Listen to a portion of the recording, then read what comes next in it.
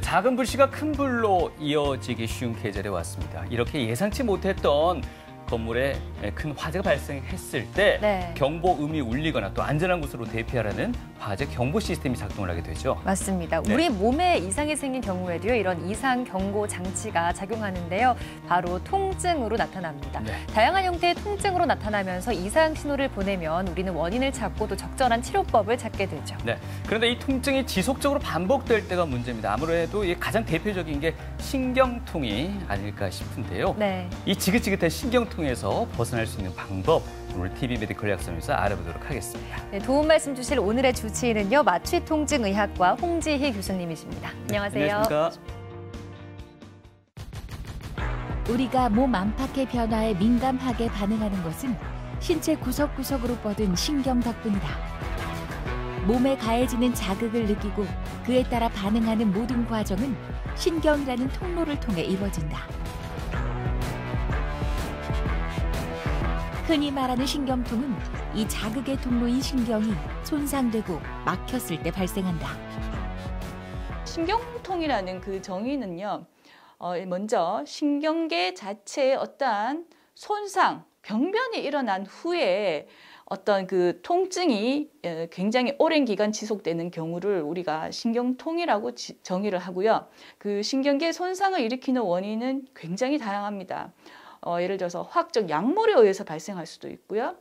당뇨 있죠. 당뇨가 굉장히 오랜 기간 있으면 당뇨 자체가 또 신경 손상을 일으킬 수도 있고 또 예를 들어서 혈관에 의한 눌림, 뭐 디스크에 의한 신경 눌림 등의 다양한 원인으로 그 신경 손상은 일어날 수가 있습니다. 신경 쓰이는 통증에서 해방되는 방법. 마취통증의학과 홍지희 교수와 알아본다. 네, 남녀노소를 불문하고 누구나 한 번쯤은 이 통증을 또 경험하게 됩니다. 그 통증 부위에 따라서 요통이 될 수도 있고 두통이 될 수도 있고 네. 여러 차이가 있을 텐데요. 이런 통증이 갑자기 찾아오는 경우도 있습니다만 만성적으로 이 통증을 갖고 계신 분들도 많지 않을까 싶습니다. 어떨까요, 교수님? 네, 맞습니다.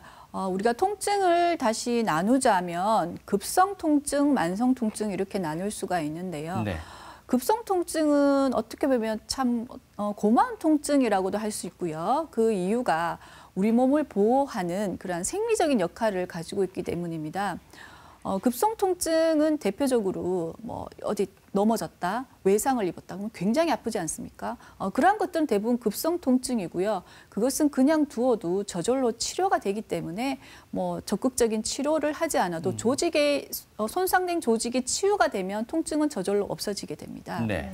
그렇지만 만성 통증인 경우에는 어, 생체를 보호하기 위한 그러한 역할은 전혀 없기 때문에 이럴 때는 하나의 질환처럼 적극적인 치료를 해야 되는 병이 되겠습니다. 네. 급성 통증을 저절로 낫는다고 표현해 주셨는데 그럼 이 급성 통증을 방치하거나 그냥 뒀을 때 음. 만성 통증으로 이어지는 경우는 없다고 볼 수 있을까요? 네, 맞습니다. 급성 통증을 그냥 뒀다고 해서 이게 만성 통증으로 이완되는 경우는 잘 없습니다. 다만 급성 통증을 얻을 당시에 어떤 신경계의 비가역적인 손상을 입었거나 그런 경우에는 만성 통증으로 넘어갈 가능성이 있습니다. 네. 그렇다면 그 방금 말씀하신 만성 통증 같은 경우에는 이게 통증 자체가 하나의 증상이라고 보기 힘든 하나의 질환 그 자체로 봐야 된다는 말씀이신 것 같습니다. 네, 맞습니다. 만성 통증이라는 것은 하나의 질환으로 보는 것이 어, 좋고요. 또 만성 통증은 오랜 기간 가기 때문에 어, 여기에서 파생되어서 불안, 우울, 수면 장애 등이 가- 함께 생기게 됩니다. 그래서 이런 경우는 약물 복용, 신경 차단술 등의 치료를 통해서 적극적인 치료를 통해서 통증의 강도를 적절히 조절하는 것이 매우 중요합니다. 네, 통증에 대해서 먼저 개괄적인 이야기 들어봤습니다. 오늘은 신경통에 대해서 좀 더 집중적으로 이야기를 들어보도록 하겠습니다. 교수님 일단 신경통의 그 개념부터 저희가 좀 들을 수 있겠습니까? 네, 신경통이라는 것은요. 어, 저희 일상 어, 이렇게 주위에 이렇게 환자분들 보시면 아, 조금만 머리가 아프거나 조금만 어깨가 아프거나 어, 이거 신경통 아닌가 이런 얘기들 굉장히 많이 하십니다. 네. 근데 엄밀하게 말하면요, 어, 그러한 것들은 우리가 크게 신경통이라고 우리가 말을 붙일 수가 없고 네. 신경통이라고 우리가 말을 쓸 그러한 용어를 쓰기 위해서는 중요한 것이 이 말초 혹은 중추 신경계에 반드시 손상을 입어야 됩니다. 정상적인 신경계가 있는 과정에 있는 경우에는요 절대 신경통이 발생을 하지 않고요. 따라서 이러한 신경계가 손상을 입게 되면 신경계 기능 소실과 함께 정상적인 신경 전달 체계가 일어나지 않죠. 그래서 비정상의 신경 전달 체계가 일어나게 되고 그래서 통증 정보가 잘못 전달이 되는 그러한 과정 속에서 우리가 만성적인 통증 그리고 결국은 신경통이라는 것이 생기게 됩니다. 네. 어, 그럼 저희가 어, 신경통을 도표로 저희가 좀 정리를 해봤는데 크게 말초 신경통 그리고 중추성 신경통 이렇게 나눌 수가 있고요. 어, 중추성 신경통은 대표적으로 중추신경계를 하면 우리 대뇌 그리고 척수를 우리가 중추신경이라 하는데 그 부위에 문제가 생긴 후에 신경통이 발생하는 경우 예를 들어서 중풍을 앓았는데 그 중풍 때문에 이렇게 편측 마비가 왔는데 그 부위만 굉장히 통증이 심한 경우가 있습니다. 그런 경우 우리 중추성 신경통이라고 할 수가 있고요. 그리고 말초 신경통 우리가 흔히 외래에서 많이 보는 환자분들이 어, 대부분 말초 신경통에 포함이 되는데 좀 더 세분화해서 보자면 삼차 신경통, 외상후 신경통, 다발성 신경통, 대상포진후 신경통, 신경뿌리 신경통 이렇게 나눌 수가 있고요. 그래서 오늘 그 주제인 그 대상포진후 신경통, 삼차 신경통 그리고 삼차 신경통과 좀 감별 질환을 해야 될 어, 몇 가지 신경통들에 대해서 좀 더 살펴보도록 하겠습니다. 네. 교수님 오늘 주제와는 다소 좀뭐 벗어날 수도 있겠는데요. 환자들 중에 그런 환자는 없을까 싶습니다. 신경통하고 근육통은 분명히 그 원인은 다를 텐데도 불구하고 단순히 증상만 가지고 그 신경통인지 근육통인지 좀 혼돈하는 네. 경우는 없을까 하는 생각도 드는데 어떨까요? 아, 네, 맞습니다. 예. 이게 신경통인지 근육통인지 조금 혼돈해 하실 수 있는 여지가 있는데요. 어. 근육통인 경우에는 저희가 이렇게 이학적 검사를 하다 보면 이렇게 아픈 부위를 이렇게 눌러보지 않습니까? 예. 눌러보면 정확하게 통증 유발점이라고 합니다. 그래서 통증 유발점에 우리가 어, 제대로 된 압력을 가했을 때 환자분들이 아주 깜짝 놀라는 아. 그걸 우리가 점핑 반응이라고 하는데 그러한 반응들을 볼 수가 있는데요. 신경통은 그러한 그 어떤 굉장히 심한 뭐 그런 그 압통점 이런 것을 찾아보기가 힘들고요. 어, 조금 증상이나 어떤 환자분의 의학적 검사를 해보면 완전히 다르다는 것을 알 수가 있습니다. 예. 이렇게 신경통을 앓는 분들이 신경통증 클리닉을 방문하게 되는데요. 보통 이렇게 호소하는 증상들 중에서 좀 가장 많이 진단되는 신경통이 있는지도 궁금하고요. 또 성별에 따라서 연령별에 따라서 또 다르게 나타날 것 같은데 어떤 점이 가장 많이 진단됩니까? 어, 신경통은 아무래도 노인 환자분들의 질환이고요. 연세가 많으면 많을수록 신경통은 굉장히 이완이 많이 된다고 볼 수가 있고 뭐 많이 보는 질환은 대상포진후 신경통 흔히 볼 수가 있고요. 그리고 당뇨가 후유증으로 신경통으로 넘어갈 수가 있습니다. 그래서 여기 다발성 신경통이 바로 그 당뇨 합병증으로 오는 신경통 많이 볼 수가 있고 그리고 삼차 신경통, 신경뿌리 신경통 많이 볼 수 있을 것 같습니다. 네. 자, 오늘 어, 교수님께서 말씀해 주신 만성 신경통, 그 가운데 말초 신경통과 중추성 신경통 짚어 주셨는데요. 어, 말초 신경통 가운데 대상 포진 후 신경통과 삼차 신경통에 대해서 집중적으로 알아볼까 합니다. 일단은 그러면 또 대상 포진부터 한번 짚고 가야 될 것 같습니다, 교수님. 네, 대상포진 후 신경통을 보기에 앞서서 이 대상포진이라는 병을 한번 살펴보면요. 어, 이것은 소아기 때 수두 바이러스가 신경절에 잠복해 있다가 성인이 되어서 면역력이 약화되면 대상포진으로 나타납니다. 그러니까 소아기에 이 수두를 앓지 않으면 성인이 되어도 대상포진이 아니고 오히려 성인이 되어서도 수두로 나타나겠죠. 그리고 이 대상포진은 특징적인 게 반드시 그 좌측 혹은 우측에 양쪽에 만약에 이렇게 발- 이렇게 수포가 생겼다면 그것은 일단 아니라고 보면 될 것 같습니다. 이 특히 이 체간, 흉추부의 체간에 많이 생기고요. 그리고 이 병의 특징은 수포가 생기기 전에 이 통증이 심한 통증이 발생합니다. 그래서 이럴 때는 굉장히 오진을 많이 하게 됩니다. 아, 혀가 생기기 전에는 아, 이게 계속 쓰리고 따가고 이게 굉장히 아픈데 이럴 때는 뭐 후- 이쪽이 아프면 막 심지어 이게 협, 협심증 이렇게 협, 진단이 되기도 하고요. 아, 그때는 굉장히 또 오진의 위험성이 많아서 굉장히 어려운 병이라고 볼 수가 있습니다. 네. 네. 이 소아기 때 수두 바이러스가 잠복해 있다가 성인이 돼서 면역력이 약화됐을 때 대상포진으로 나타난다고 하셨는데요. 사실 소아 때는 아이들마다는 많이 다르지만 통증이 많이 없는 걸로 알고 있습니다. 네, 네. 근데 같은 수두 바이러스인데도 불구하고 대상포진은 왜 그렇게 통증이 또 심하게 남는 건가요? 그 대상포진이라는 병은 신경계를 침범을 하거든요. 어, 우리 인체에서 신경이라는 조직은 다른 조직과 달리 굉장히 민감해 민감해서 조금이라도 상처가 나거나 어떤 손상을 입으면 이게 과흥분을 하기 때문에 굉장한 통증을 일으키게 됩니다. 네. 네, 교수님이 말씀하셨듯이 대상 포진도 심각한 그 통증을 유발하는 경우도 동반하는 경우도 있다고 말씀 주셨는데 이 통증과 대상 포진 후에 오는 신경통과는 어떤 차이가 있을까요? 네, 그 차이점이 무엇인가에 대해서 잠시 살펴보도록 하겠습니다. 어, 대상포진의 신경통은요, 어, 그야 말대로 그 대상포진이 걸린 후에 의 후유증으로 오는 신경통인데 이때는 이 사진에는 이제 급성기의 대상포진에 이완된 환자분의 그 등의 사진인데요.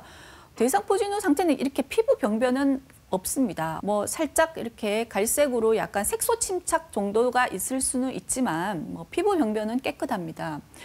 어, 그렇지만 이 통증은 둘 다 해당이 되죠. 대상포진 때는 굉장히 날카로운 통증이었는데 신경통으로 넘어가게 되면 막 불에 타는 듯하다, 욱신욱신하다. 이 신경통에 이완된 환자분 특히 옷을 잘 못 입습니다. 이 옷에 스치면요 굉장히 따가워서요. 어, 심지어는 이렇게 옷을 이렇게 들면서 이렇게 진료실에 오는 네. 그런 분들 올 수 있고요. 또 특징적으로 또 가렵다고 하시는 분이 있으세요. 이 가려움증을 호소하시는 대상포진 신경통 환자분도 많습니다. 네. 그래서 환자분들이 많이 궁금해하시는 것들을 제가 이렇게 좀 정리를 해봤습니다. 그럼 대상포진 환자분들은 모두 신경통으로 넘어가는가? 음, 네. 네, 물론 아닙니다. 아니고요. 그래서 이 그럼 어떤 환자들이 이렇게 신경통으로 많이 넘어가는가에 관해서 좀 알아놓을 필요가 있는데요. 어, 이 부분들이 참 중요하다고 생각이 됩니다. 제일 중요한 것은 연령입니다. 아까 신경통이 제가 노인분 질환이라고 말씀을 드렸는데 60대 이상이면 거의 60%가 넘어가고요. 70대가 신경 어 70대의 내상 포진을 앓으면 한 70%가 거의 넘어갑니다. 그래서 가장 중요한 것이 그 연령이고요. 어, 그리고 대상포진 초기에 왔을 때 굉장히 얼마나 심하게 왔느냐 또 약하게 오시는 분도 있어요. 이렇게 심하게 오면 올수록 신경통으로 많이 이완이 된다고 볼 수 있고요. 그리고 대상포진 신경통은 얼마나 지속되는가? 어, 네, 이것은 만일 신경통으로 이완된 것이 확실하다면 이것은 반영구적으로 네, 물론 초기의 통증 강도는 많이 떨어질 수가 있습니다. 그렇지만 신경통에 이완되었다면 이것은 거의 반영구적으로 갈 수가 있기 때문에 네, 아주 적극적인 치료가 필요한 부분입니다. 그리고 완치될 수 있느냐? 어, 신경통은요 거의 이렇게 당뇨 환자분들 이렇게 당뇨 조절하듯이 이것은 조절하는 병입니다. 완치는 좀 불가능하다고 볼 수가 있습니다. 그럼 여기에 질문을 하나 더 추가하자면 대상 포진 후 신경통으로 이어지는 60, 70대 60, 70% 네. 막을 수는 없습니까? 아, 이것을 막기 위해서 조기 치료를 얼마나 적극적으로 하느냐가 이제 성패를 조금 가른다고 할 수 있는데요. 네. 여기에 관해서는 굉장히 많은 연구 논문과 데이터들이 있습니다. 그래서 여기에서는 아직 딱 이거를 하면 확실하게 줄어들더라 이런 아직 확립된 그것은 없고요. 그러니까 이제 초기에 대상포진 왔을 때 바이러스 항바이러스제를 적극적으로 하느냐 안 하느냐 그리고 뭐 신경 차단술 이런 것들을 적극적으로 하느냐 안 하느냐에 대해서 여러 가지 연구들이 있지만 아직까지 완전히 확립된 데이터는 좀 부족한 상황입니다. 네. 네, 이것은 그 신경통 발생의 연령별 분포입니다. 어, 이 도표를 보시면요. 50대쯤 되면 빈도가 확 증가하는 것을 우리가 도표를 통해서 알 네. 수가 있고요. 연령대 70에서 79세 뭐 신경통이 거의 이제 정점을 이룬다고 볼 수가 있고요. 그러니까 연령이 가장 중요한 인자라는 것을 알 수가 있고 또 성비에 있어서도 남녀가 차이가 나는 것을 알 수가 있고요. 여성분에게 더욱 많이 이완된다는 것을 알 수 있습니다. 네. 어, 이것은 신경통 환자 수와 의료비 이거는 이제 우리나라의 심평원 데이터를 이용해서 분석한 자료인데요. 2009년에서 2014년 동안 꾸준하게 환자 수가 증가함과 의료비가 같이 증가하고 있다는 것을 이 도표를 통해서 우리가 확인할 수 있겠습니다. 네. 네. 이게 만성 통증이기도 하고 의료비 부담도 계속될 것 같고 이게 또 완치의 개념이 아직은 없다고 하셨는데요. 네네. 이 치료를 하려면 또 어떤 방법이 있을 수 있을까요? 네, 일단 대상포진 후 신경통 전에 그 대상포진 단계에서 좀 더 적극적인 치료, 조기 치료가 굉장히 중요합니다. 어, 이 3개월 이내라고 제가 적었는데 여기에 대해서는 많은 논문들도 있습니다. 좀더 조기에 적극적인 치료를 한 분이 아무래도 설령 그런 게 신경통으로 넘어가더라도 훨씬 경과가 예, 좋고요. 예후도 어, 양호한 것으로 알려져 있습니다. 어, 신경통으로 이완된 경우에는 그 약물 복용이 중요합니다. 그 약물로는 항경영제, 항우울제, 그리고 아스타미노펜, 복합제제, 마약성 진통제 등을 어, 우리가 많이 처방을 하고 있습니다. 어, 체간 부위에 이 대상 포진은 많이 오게 되죠. 그래서 이 사진에도 그 체간 부위에 초음파를 이용해서 신경 차단술을 하는 사진인데요. 어, 이러한 초음파를 이용한 신경 차단술을 저희는 많이 시행을 하고 있습니다. 대상포진 예방 백신이 이제 나오게 됐습니다. 이게 국내에 소개된 게 거의 한 10년 이상 된 것 같은데요. 모든 분들이 대상포진 예방 백신을 할 필요는 없습니다. 어, 만 50세 이상 성인분들에게 권장을 하고 있고요.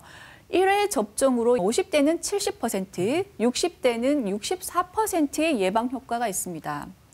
그리고 대상포진에 이미 걸리신 분들이 아, 선생님, 근데 이게 너무 이제 괴로우니까 이제 백신 얘기를 많이 물어보시는데 제가 그럼 언제 맞으면 됩니까? 이렇게 많이 질문하시는데요. 대상포진 초기에 감염이 됐을 때는 우리 몸이 굉장히 항체를 많이 만들어냅니다. 이럴 때는 면역력이 굉장히 올라가 있는 상태이기 때문에 바로 그 다음 달에 뭐 할 필요 없습니다. 음. 그런 경우는 제가 하지 말고 최소 한 6개월 정도 있, 어, 경관 후에 을 하라고 되어 있고요. 그리고 코로나19 백신을 고려한다면 어, 아직까지 여기에 대해서도 많은 그 완전 연구 데이터가 많이 부족한 상황이긴 하지만 최소한 접종 간격은 2주 정도를 권장하고 있습니다. 네. 알겠습니다. 자, 지금까지는 통증의 끝판왕이라고 소개를 해드렸던 대상포진 후 신경통에 대해서 알아봤고요. 아, 두 번째, 이번에는 얼굴에 날벼락을 맞은 듯한 그런 통증이 느껴진다고 하는 삼차 신경통 알아보도록 하겠습니다. 얼마나 아프면은 얼굴에 벼락을 맞았다는 그런 표현을 쓰는가요, 교수님? 네, 맞습니다. 그 대상포진 신경통도 아, 정말 이게 만만한 병이 아닌데요. 예. 어, 3차 신경통 정말 말 그대로 정말 극심한 안면 통증을 호소할 수 있습니다. 어, 대부분 환자분들이 외래 오사 한 어, 선생님 얼굴에 막 전기가 흐릅니다. 번개 맞은 것 같습니다. 이런 말을 가장 많이 쓰시고요. 그리고 편측으로 이것도 마찬가지로 양측으로 오진 않습니다. 반드시 편측으로 오고 좌우 중에서도요 우측이 더 많습니다. 그리고 또 하나 한 가지의 특징은 반복적 순간적입니다. 만일 통 얼굴이 하루 종일 우리하게 아픕니다 이렇게 하면 이건 아닌 아닌 거고요. 네. 보통 통증이 한 1분 내지 2분 안에 끝나게 됩니다. 네. 그리고 통증 유발 인자가 이것은 있게 되는데요. 전형적으로 식사, 세수, 양치에 통증이 유발이 되어서 네, 굉장히 일상생활이 힘든 질환입니다. 네. 그리고 이 통증의 특징을 조금 살펴보면요. 어, 이것도 젊은 보다- 분보다는 중년의 여성들에게 많이 호발을 하고요. 이것도 남성분보다는 여성분에게 많이 생깁니다. 어, 빈도는 인구 10만 명당 100명 정도로 알려져 있고요. 어, 여기 도표를 잠깐 보시면 인구 10만 명당 처음에 2014년도는 82명이었는데 2018년도에는 거의 100명 이상 굉장히 꾸준하게 증가하는 것을 볼 수가 있고 성비에서도 여성분이 거의 두 배죠. 여성분이 남성분보다 한 두 배 정도로 많다는 것을 알 수가 있습니다. 그리고 또 한 가지 통증의 특징이 무통기가 있습니다. 무통기. 만약에 환자분이 무통기에 가면 전혀 아- 아프지 않기 때문에 이럴 때는 뭐 특별히 약물을 먹거나 그런 전혀 치료를 중단하셔도 아무 문제가 없습니다. 네, 호발 연령. 가장 피크를 이루는 연령대가 50에서 59세, 50대에 가장 많은 걸로 알 수가 있고요. 어, 남녀의 성별 차이가 여성분에게 아주 월등하게 많은 병이라고 볼 수 있습니다. 네, 통증의 특징 아까 말씀드린 것처럼 굉장히 순간적이고 격렬합니다. 통증이 1분, 길어도 한 2분 안에 끝이 나고요. 그렇지만 그러한 통증이 계속 반복이 되죠. 세수, 양치, 면도, 대화, 식사, 아, 이 모든 것들이 예, 통증을 유발하기 때문에 이러한 일상생활이 굉장히 제한이 된다고 볼 수 있습니다. 네.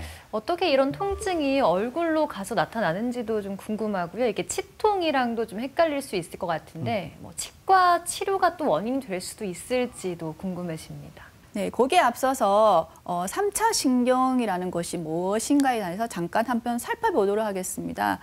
어, 3차 신경은 저희 이 머리 안에 있는 뇌신경이죠. 어, 우리 중추 뇌신경은 이 사진과 같이 12개의 뇌신경이 있는데요. 그 중에 제 5번 뇌신경을 우리가 이 3차 신경이라고 합니다. 이 3차 신경은 다시 3개의 분지를 내게 되고요. 이 3차 신경의 가장 중요한 역할은 바로 이 안면 부위의 감각을 담당하는 것입니다. 네, 그 환자분들이 제 외래를 방문을 하시면요, 항상 제가 이 사진을 많이 보여드립니다. 왜냐하면 이 3차 신경통은 치료에 앞서서 진단이 굉장히 중요하기 때문에요. 그러니까 어, 이 사진을 보면서 환자분 자 아프신 부위가 여기 상, 이, 이 노란 부위, 녹색, 주황색 중에 어디에 해당합니까? 이렇게 하면 보통 환자분들이 녹색 그리고 주황색 바로 여기에 요 분지에 가장 많이 발생합니다. 여기 노란색 이마 부위는 잘 없고요. 녹색과 주황색 요 부분에 가장 많이 하고 그래서 만약에 통증 발생 부위가 이 부위를 벗어나게 되면 이것은 삼차 신경통이 아닙니다. 예를 들어서 여기서 귀 뒤로 간다든지 목 근처라든지 이건 절대 아니죠. 그리고 또 한 가지 특징은 입 안으로 녹게 됩니다. 입 안. 그래서 점막, 특히 치아, 치아로 날카로운 통증이 굉장히 많이 오죠. 그래서 환자분들, 제가 만난 환자분들 열 명 중에 한 아홉 명 정도는 치과 다 들리고 오시는 것 같아요. 그래서 치과 가서 멀쩡한 일을 발치를 어. 많이 하십니다. 또 발치 이까지 뽑고 그런데도 계속 아프니까 음. 하, 어떻게 어떻게 해서 이제 삼차 신경통이 아닌가 이렇게 해서 저한테까지 이렇게 오시게 되는데 너무 안타깝습니다. 발치까지 하고 이렇게 오시면 네. 결국은 또 제가 그렇게 이렇게 해드리게 되는데 그런 분들 또 이제 신경통 치료하고 이제 괜찮으니까 이제 임플란트도 하시게 되죠. 그래서 이러한 호발 부위 그래서 얼굴뿐만 이 피부뿐만이 아니라 항상 입 안, 치아로 잇몸 다 올 수 있기 때문에 이러한 치과 문제에 굉장히 이, 섬- 어, 중요하고요. 자, 그럼 이 원인이 무엇인가? 이 원인은 미세혈관 압박이 가장 중요한 원인으로 알려져 있습니다. 신경과 혈관은 항상 같이 주행을 하게 되죠. 그래서 이 혈관이 신경과 같이 주행을 하면서 좋은 점은 이 혈관이 신경에 영양 공급을 하게 됩니다. 그렇지만 이렇게 이제 연세가 드시고 노화가 되면 이 혈관이요 약간 이렇게 꾸불텅꾸불텅하게 변성을 이루면서 얘가 이렇게 쓱 누르게 되죠. 그러면 이 신경이 이렇게 흥분을 하게 되는 거고 어, 그러면 이제 이 미세, 이 혈관에 의한 신경 손상이 있을 수가 있고, 그 다음에 원인은 신경 피막의 손상입니다. 우리가 신경을 어떠한 전선 줄로 비유를 하자면요. 그러니까 선, 밖에 이 막이 이렇게 벗겨지는 예. 거죠. 그렇게 되면 이 신경이 또 흥분을 해서 막, 막 통증을 일으키게 되고, 그럼 혈관 압박도 아니고 신경도 괜찮은데 이렇게 또 오는 경우도 있습니다. 이런 경우를 우리가 특발성 삼차 신경통이라고 합니다. 그래서 임플란트. 그래서 저희 환자분들 중에 이런 분 많거든요. 제가요 한 한 달 전에 임플란트를 했는데 그때부터 계속 아픕니다. 그래서 이게 분명히 임플란트가 원인이 아닙니까 이렇게 하는데 어, 3차 신경절을 엄밀하게 말하면 이 두개각 뇌에서 시작을 하는데요. 임플란트는 아니라고 볼 수 있습니다. 물론 임플란트 때문에 그 3차 신경의 가장 말초 분지가 손상을 입어서 오는 그런 병이 있긴 있습니다. 그런 경우는 이 3차 신경통이라는 진단명은 아니고요. 어, 치아 임플란트는 엄밀히 말하면 별개라고 어, 볼 수 있습니다. 그리고 턱관절 질환과 이게 또 연관성이 있느냐 이런 분들이 있는데 어, 물론 통증 부위가 약간 겹칠 수 있습니다. 턱관절 되면 요 귀 앞쪽을 요 부위가 아픈데요. 근데 이제 턱관절 질환이면 이제 이 특이적으로 이 부분에 굉장히 이 압통이 있죠. 그렇지만 이 삼차 신경통과는 완전히 구별이 되고요. 이것은 뭐 약간 히, 그 이학적 검사나 병력 청취를 해보면 금방 구분이 될 수가 있습니다. 네. 그래서 삼차 신경통의 진단, 이게 정말 진단이 정말 중요한데요.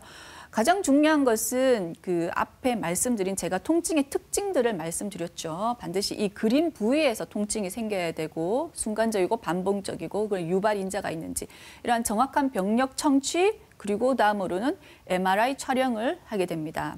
그 MRI 촬영은 혹시나 이 두개강내 종양에 의해서 삼자 신경이 눌려인 경우에도 어, 그 증상이 발생하기 때문에 보통 MRI 촬영을 많이 하게 됩니다.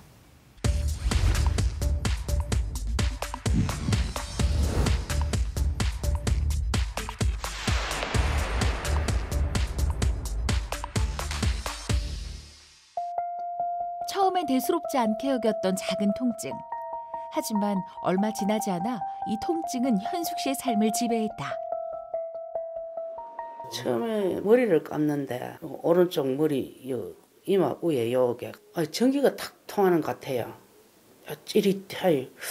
그 나는 내 몸은 그런 줄을 모르고 물에서 그런가 이제 내가 모기탕에 그 매점을 했거든요. 그 이제 저녁만 되면 막 전부 막 전기를 펌프가 물 퍼내고 막 이래 하고 난 물에 전기가 통하는 줄 알았어요. 그러고 그러고 또좀 모기탕 있다 보니까 맨날 모욕을 하잖아요.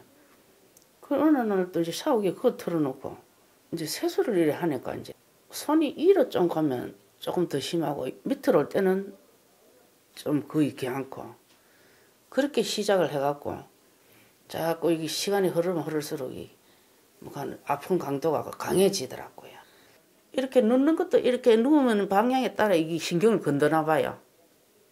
그러면 막 참말로 막 한장에 그 진짜로 막 아빠가 괴로워가 자살하고 한 사람 그 이해가 되더라니까요. 너무 내가 괴로우니까. 현숙 씨가 받은 진단은 이름도 낯선 삼차 신경통. 특히 어금니와 코 주변이 지독히 아파 세수를 하고 밥을 먹는 일상적인 행동이 두려울 정도였다. 이 병원에 가고 이러면 가고 또 다른 병원에 또 좋다 가면 사람이 아프면 막 어디 좋다 가면 그거만 기가 쫑긋하잖아요. 그 내가 열한 세 군데 정도 갔지. 그 이 병원에 처음에는 가니까 이제 순천병원에서 삼차 신경이라 하면서 막 이끄적이라 부닥하니까 치과에 가 만나하더라고. 이제 치과를 가보라 소리는 안, 안 갔다 하니까 가보라 소리는 안 하는데 갔는가 물으니까 또 혹시 이빨이 그런가 싶어가요. 또 치과에 갔다 치과에 가니까 또 또 이런 게 이제 코 쪽으로 이리 아부닥 하니까 이비인후과 갔나 보더라고. 또 그래 또그 이튿날 또 당장 또 이비인후과를 갔다. 안면부 통증 완화를 위해 현숙 씨는 지금까지 세 번의 신경 차단술을 받은 상태. 그리고 오늘은 추가로 고주파 열 응고술을 시행할 예정이다. 오늘은 그 중추신경절, 3차 신경절 부위를 우리가 투시장치를 사용을 해서 정확하게 찾아 들어가서 그 부위의 신경 자극을 통해서 환자의 아픈 부위가 바로 코 옆, 이 뺨 주위거든요. 그 부위에 자극을 줘서 신경 자극이 잘 가는지 확인한 다음에 그 부분을 어, 고주파 열응고로 신경을 완전히 파괴시킨 방법입니다. 3차 신경통 환자분들이 또 할 수 있는 다른 치료 방법이 어, 그 미세혈관 감압술 그리고 감마 나이프 등의 치료가 있는데 어, 이러한 치료에 비해서 굉장히 비용 절감하면서 굉장히 빠른 시간 안에 저희들이 통증 어, 소실을 경험할 수 있는 가장 훌륭한 치료입니다. 통증 부위에 국소 마취를 진행하며 본격적으로 시작되는 시술. 방사선 투시 장치를 확인하며 목표로 하는 신경절의 바늘을 거치 고주파로 열을 발생시켜 이를 파괴한다. 거의 통증이 없, 없어지기 때문에 어, 보통 기존에 먹던 신경통 약은 많이 중단하시는 경우가 많고요. 뭐 특별히 이것 때문에 더 조심해야 된다거나 뭐 그런 건 없습니다. 단지 어, 이 시술을 해도 약 1년 정도의 시간이 흐른 다음에 재발을 할 수는 있습니다. 시술을 진행하고 나면 시술 부위가 마취된 것처럼 먹먹한 느낌이 지속되곤 한다. 그럼에도 환자들은 통증을 느끼는 것보다 훨씬 낫다며 대부분 만족하는 편이다.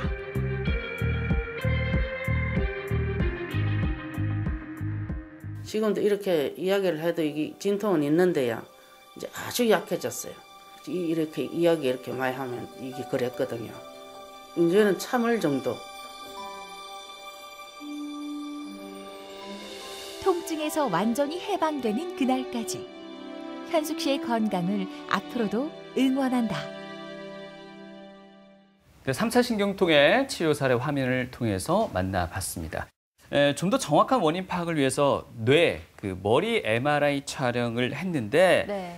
에, 그렇다는 건이 3차 신경통의 원인이 결국 뇌 질환 때문에 나타나는 증상일 수도 있다. 이런 말이 되는 건가요? 네, 맞습니다. 그 아까 제가 말씀드렸을 때 그 혈관 압박을 말씀드리지 않았습니까? 그래서 MRI를 촬영을 하게 되면 어느 정도의 그 혈관 압박을 우리가 알 수가 있게 되고요. 그다음에 또 한 가지의 우리가 촬영을 하는 원인은 그 뇌 종양, 그 삼차 신경이 지나가는 그 부위를 이렇게 뇌가 종양이 자라서 이렇게 압박을 하게 되면 이 전형적인 그 통증이 생기게 됩니다. 그래서 만약에 종양 압박에 의한 그 삼차 신경통인 경우에는 치료의 방향이 완전히 또 달라지게 되죠. 그래서 그러한 부분을 완전히 그 판별하기 위해서 음. 어, 필수적으로 해야 되는 검사입니다. 네. 그리고 어, 또 우리나라 건강보험 체계상 이 삼차 신경통에 의한 그뇌 MRI 검사는요 의료 보험이 됩니다.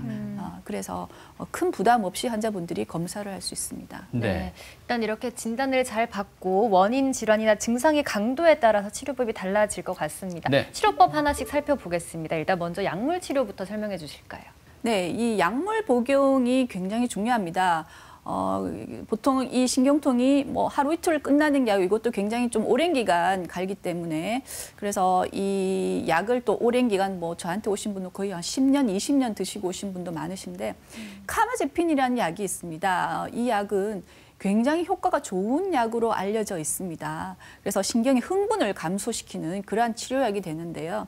그렇지만 이게 처음에는 이게 효과가 좋은데 시간이 지날수록 점점점 효과가 없어서 이게 약물 용량을 또 올리고 올리고 또한 그런 음, 이거를 해서 이제 또 다른 치료로 넘어가고 이렇게 되기도 하는데 그래서 이제 저희가 약물로 해서 아무 부작용 없고 효과가 전- 좋다면 정말 이 약물만큼 좋은 치료가 없을 것 같습니다.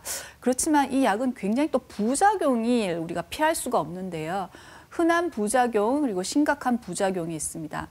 어, 저는 아마 그 가장 흔하게 받는 게 이렇게 뭐 어지럽다, 졸림 이런 것보다도 피부 발진을 가장 제가 흔하게 경험한 것 같습니다. 환자분들이 마치 이렇게 이렇게 두드러기 앓듯이 이렇게 피부에 발진 때문에 이렇게 약을 도저히 드실 수가 없는 경우 그리고 심각한 부작용으로는 심장 독성이 있습니다. 그리고 스티븐 존슨이라고 되어 있는데 이것은 어, 피부과적인 굉장히 중한 병이죠. 이렇게 피부 발진이 온 전신에 머리부터 발끝까지 생겨서 굉장히 어떤 중한 피부 합병증인 스티븐 존슨까지 오는 것으로 알려져 있습니다. 그래서 이 약물 복용 전에 심전도 검사라든지 아까 심장 부작용이 있지 않았습니까? 그래서 심전도 검사에서 아무 이상이 없으신 분이어야 되고요. 그리고 이게 또 간 수치를 올릴 수가 있기 때문에 혈액 검사를 필수적으로 어, 하는 것으로 되어 있습니다. 네. 통증 치료 약제들이 대부분 내성이 또 생긴다고는 하는데 이것도 마찬가지일까요? 어떨까요? 맞습니다. 이렇게 약물에 내성이 생긴 경우는 굉장히 그 고용량을 드셔도 그 크게 효과가 없기 때문에 결국은 어, 중재적인 치료, 여러 가지 주사요법이라든지 고주파 이러한 중재적인 요법으로 많이 넘어가게 됩니다. 네. 자, 이렇게 약물 치료로도 통증 조절이 잘 되지 않거나 아니면 또 부작용이 있는 분들은 다른 치료법을 선택해야 될 것 같은데요. 네. 다른 치료법은 또 어떤 것들이 있는지 설명 주실까요? 네, 삼차 신경통의 치료로 이제 이 사진은요, 그 수술적인 치료를 이야기하는 것이고요. 어, 아까 말씀드린 이제 중요한 원인이 혈관 압박이지 않습니까? 이렇게 압박 혈관이 이렇게 삼차 신경을 누르고 있어서 어, 미세 혈관 감압술, 바로 이 혈관과 신경을 이렇게 분리해 주는 거죠. 그래서 이 혈관 밑에 이러한 스펀지 같은 이 완충제를 넣어줌으로 해서 혈관 눌림을 조금 이렇게 덜어주는 그러한 치료가 됐고, 되겠고요. 그렇지만 제한점은 이게 노인 질환인데 전부 노인분들이 전신 마취를 하는 게 굉장히 부담스럽습니다. 그래서 이러한 제한점이 있고요. 그리고 이렇게 완전히 두개각 내에 이렇게 수술을 하더라도 이것은 재발할 수가 있습니다. 어, 또 한 가지 치료 이것은 수술은 아닌데 이 감마 나이프라고 해서요. 완전히 일종의 방사선으로 하는 치료인데 이것은 근데 굉장히 좀 고비용으로 알려져 있습니다. 그리고 이게 환자분이 좀 덜 아프다라고 느끼기까지 재통까지의 시간이 굉장히 걸린다는 점좀 제한점으로 볼 수가 있고요. 어, 여기서부터는 이제 제가 많이 하는 치료가 되겠네요. 어, 이 저희는 이제 이 신경 분지 혹은 삼차 신경절을 직접적으로 찾아 들어가는 그런 치료가 되겠는데 이것은 삼차 신경 분지, 이 말초 분지는 이렇게 외부에서 이 초음파 프로브를 통해서 이 나오는 그, 그 분지를 확인을 할 수가 있습니다. 그래서 여기에 국소 마취제를 주사를 하게 되면 환자분들이 통증이 많이 경감이 되는 것을 알 수가 있고요. 어, 그리고 이제 이러한 3차 신경 분지 주사를 해도 제대로 조절이 되지 않는 경우에는 어, 우리가 이 신경절까지 신경절은 음, 이렇게 쉽게 찾을 수 있는 것은 아닙니다. 이 우리 두개각 내에 존재하는 곳이기 때문에 여기까지 우리가 외부에서 투시 장치를 통해서 이 바늘을 거치시킨 후에 이 고주파에서 발생하는 열을 통해서 신경을 완전히 무력화시키는 그러한 치료가 되겠습니다. 그래서 이 고주파 여름고술이라는 것을 저희가 많이 하고 있습니다. 아, 말씀드린 것과 같이 이 3차 신경절을 외부에서 이 바늘을 이렇게 해서 적절히 위치시킨 다음에 거기서 정기적 자극을 통해서 환자의 원래 그 통증 부위가 잘 자극이 되는지를 확인한 후에 거기서 이제 그 고주파에서 발생하는 열로서 신경을 완전히 이제 마비시켜 버리는 거죠. 어, 이것의 장점은 당일로 시술하며 어, 시술 자체가 조금 고통스러울 수가 있어서요. 저희는 수면 마취를 통해서 어, 이 시술을 하고 있습니다. 네, 아까 말씀드렸지만 그이 삼차 신경절이 나오는 곳을 정확하게 찾아 어, 어, 할, 알기 위해서는 보통 CT로도 할 수가 있습니다. 그렇지만 이러한 영상 장치 유도를 통해서 이러한 이 엑스레이 사진을 통해서 정확하게 그 신경이 나오는 그 길목을 찾아 들어가게 됩니다. 어, 이 고주파 여름 고술도 어, 장점과 단점이 있는데요. 아까 감마 나이프는 제통을 얻기 위해서 굉장히 시간이 걸린다고 말씀을 드렸는데 이것은 즉각적으로 통증 완화를 경험을 할 수가 있습니다. 보통 환자분들이 길어도 한 일주일 정도 걸리는 것 같습니다. 보통 일주일 안에 거의 환자분들이 어, 통증이 없어지는 것을 저희가 알 수가 있고 이것은 전신 마취를 하지 않습니다. 저희가 전신 마취 없이 아까 수면 마취를 한다고 말씀을 드렸고요. 네, 당일 시술로 할 수가 있고 어, 단점은 시술 부위의 감각 둔화입니다. 아까도 말씀드린 바와 같이 삼차 신경절은 대표적인 안면의 감각 신경이죠. 그래서 어, 어떤 분은 또 이게 잘 안 생깁니다. 안 생겨서 어, 자 마취된 것 같지 않으세요? 이렇게 하면 어, 뭐, 뭐 모르겠는데요. 이런 분도 있고 어떤 분은 굉장히 여기가 완전 나무 사릴 같네요. 음. 이런 분도 있으신데 한 감각 둔화가 약 30% 정도에서 발생하는 것으로 알려져 있고 어, 그리고 또한 재발 가능성도 있습니다. 네, 다음은 이 통증이 얼마나 오래 가느냐. 아, 네, 여기 나온 부분은요, 저희가 그 굉장히 오랜 기간, 장기간 추적 관찰한 그 연구 논문을 통해서 나온 그 데이터, 데이터가 되겠습니다. 1,600명의 환자를 25년간 추적, 굉장히 많은 수를 오랜 기간 추적 관찰을 했죠. 어, 즉각적인 통증 완화가 약 97.6%에서 이루어졌고요. 1회 시술로 5년까지 완전한 통증 완화는 약 60% 굉장히 훌륭한 치료 성적을 가지고 있다고 볼 수가 있고 저도 지금까지 이렇게 쭉 해오면서 보니까 저한테 1년 이내에 이게 통증이 재발했다고 오시는 분은 손꼽을 수 있는 것 같아요. 손꼽을 수 있고요. 최소한 저도 일, 다시 오셔도 보통 한 1년 정도 지나면 한 분씩, 두 분씩 오시는 것 같고 한 6개월 정도 후에 오신 분 한 두세 명 정도 있으셨던 것 같습니다. 좀 전에 그 약간의 그 감각 둔화라는 단점도 짚으셨는데요. 부위가 부위다 보니 어쩌면 좀 위험성이라고 할까요? 부담감이 더 있을 수도 있, 을 것도 같습니다. 그렇진 않나요? 네, 감각 둔화가 생길 수 있는데요. 어, 그래서 저도 이런 부분들 때문에 아, 이게 조금 고민스럽고 아, 이 환자분이 너무 이게 불편해 하시거나 하면 어떡하지? 이런 고민들을 했었는데 생각보다도 환자분들이 이게 통증이 워낙 이게 극심하고 괴롭기 때문에 강박도나로 내가 삶의 질이 너무 형편없습니다. 이런 분은 제가 거의 보지 못한 것 같습니다. 이것은 여러 가지 연구 데이터, 연구 논문을 통해서도요. 이러한 강박둔화가 우리 삶의 질을 얼마나 떨어뜨리느냐 거기에 대해서 봐서도 큰 영향은 없는 것으로 가장 삶의 질 등의 이 굉장히 극심한 통증이지 네. 이런 감각 저하는 큰 영향을 미치지 않는 것 같습니다. 어떻습니까? 치료 후에 일상생활에서 조금 더 주의를 해야 될 부분은 없을까요?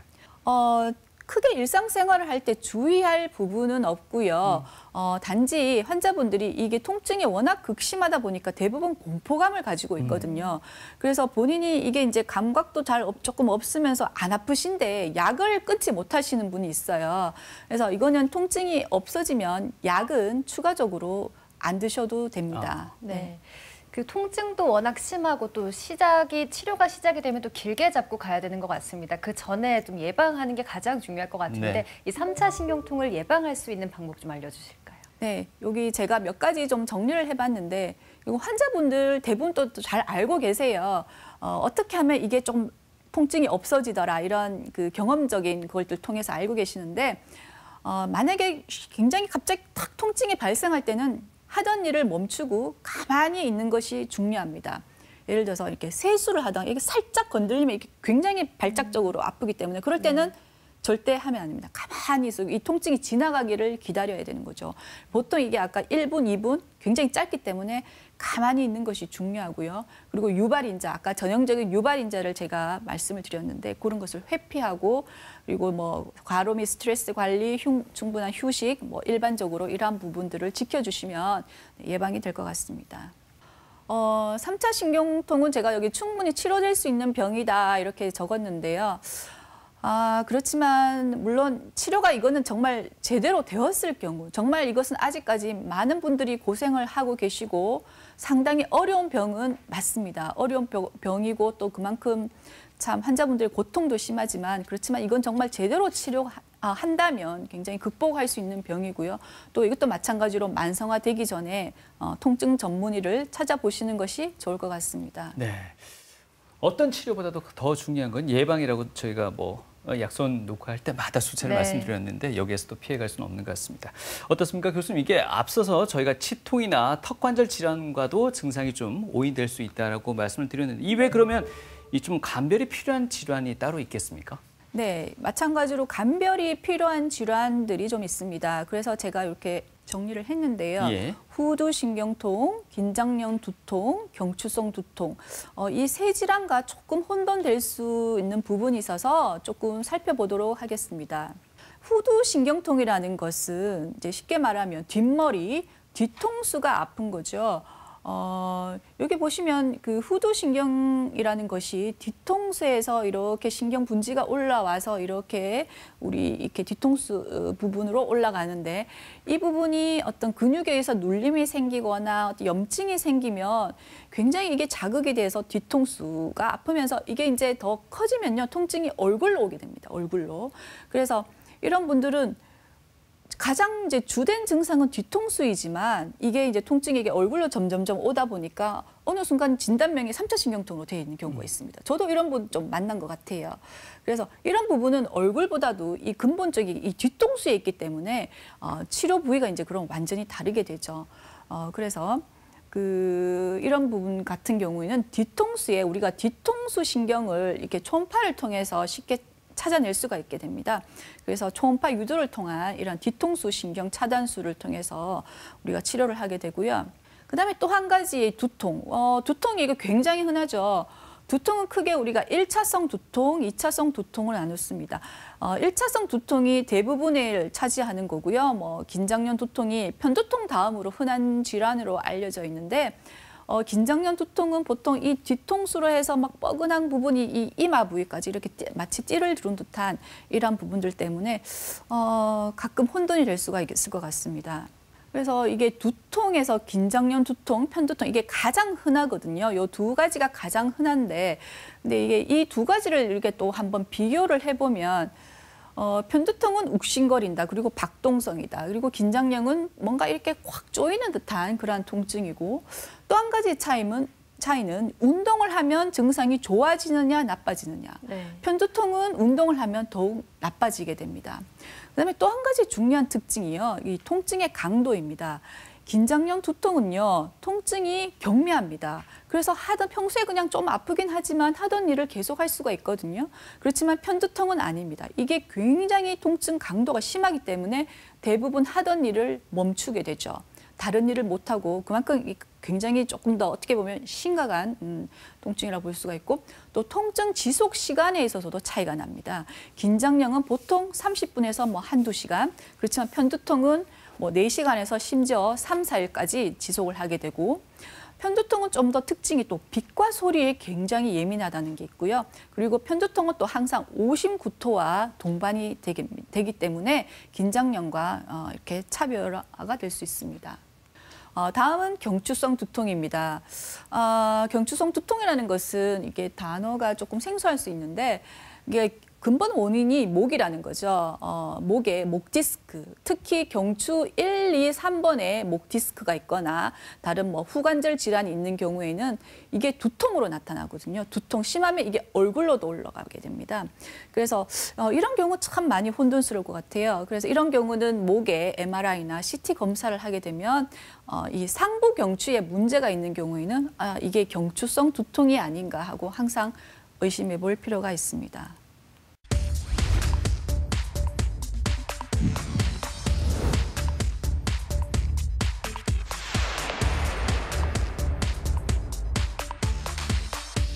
이제 나이 들고 하니까 이 센일 조금 안 하던가 하고 나면은 옆구리가 땡기고 좀 아파요. 지금 어머니가 허리가 아파, 아프셔가지고 주사 맞은 당일에는 괜찮다가도 맞고 나서 며칠 지나면 계속 고통을 호소하시니까 좀 피곤하고 이러면 너무 아프고 막 또 잠이 안 와가지고 잠 못 잘 때는 막 너무 힘들어요.